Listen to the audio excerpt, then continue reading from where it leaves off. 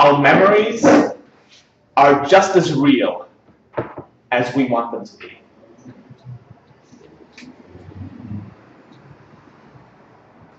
I used to play in the graveyard, the village cemetery down the street from my house.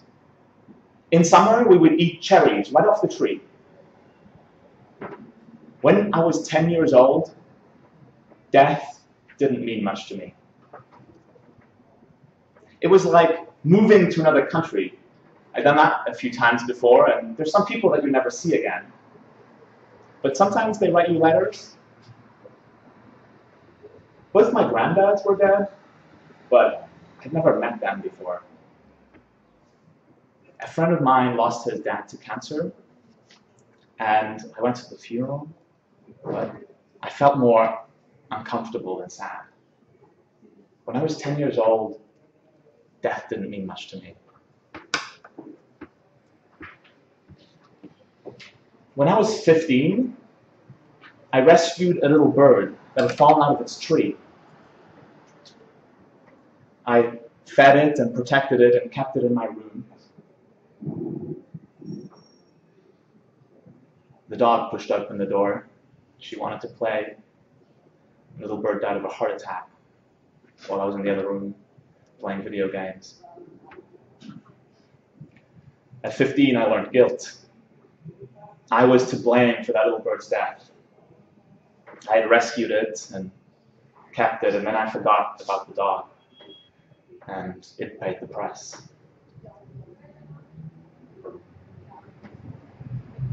I was 15 years old.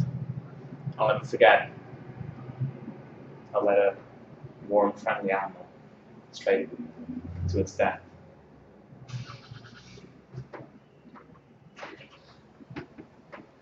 When I was 23, I was in a fatal bus crash.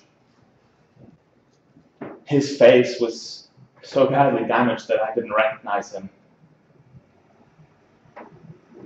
his three-dimensional character turned into a two-dimensional body.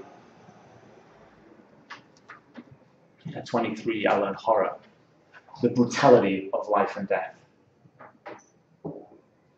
The memories from that night are seared into my brain like a blacksmith's mark on the side of a blade.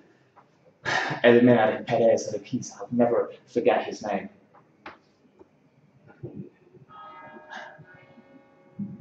At 25, my girlfriend died. 18 and a half thousand kilometers away. At 25, I learned grief. Ying Kong. She had inner strength like King Kong. She had a giant heart made out of pink candy floss. She lived life so fast that sometimes you only saw a blur, and she wouldn't have had it any other way. Now she would tell me that she's gone off on a new adventure, exploring the universe in a different dimension. She believed in magic on Earth too. She believed in dragons and unicorns. Before she died, she traveled the world for a year with a wizard's cape just because she could. Not because she had the money, because she didn't, but because she had the drive. She found a way. She taught me that love is not an emotion, it's an attitude, a way of seeing the world, a way of being in the world. She taught me that love is freedom, the freedom to be whoever we want to be without judgment. She taught me that love is an adventure, and what matters is the journey, and not the final destination. So at 25, I learned grief, but I also learned love, and passion, and freedom, and courage, and adventure, and acceptance. Acceptance. Death is real. Death is real. But that's not the most important part. The most important part is that now I have let go. And she still teaches me. So I can play in the graveyard again and eat cherries right off the tree in my mind. Because our memories are just as real as we want them to be.